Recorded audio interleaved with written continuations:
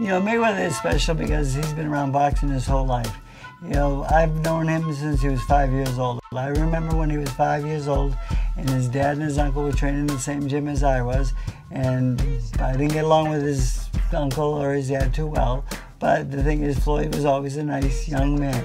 The thing is, he was a fucking good fighter at five years old. Believe you saw that.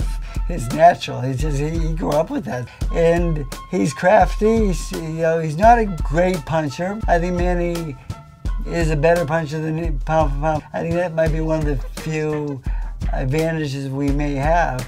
But Mayweather doesn't fight lefties too well. He rolls into a lefty's power.